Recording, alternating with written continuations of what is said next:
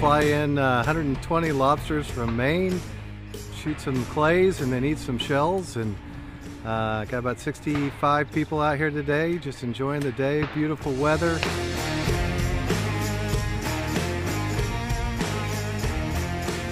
These guys love doing this event every year and they look forward to it. This is our uh, third year we've actually been shooting out here and it just keeps growing every year. So this is our, our biggest year yet.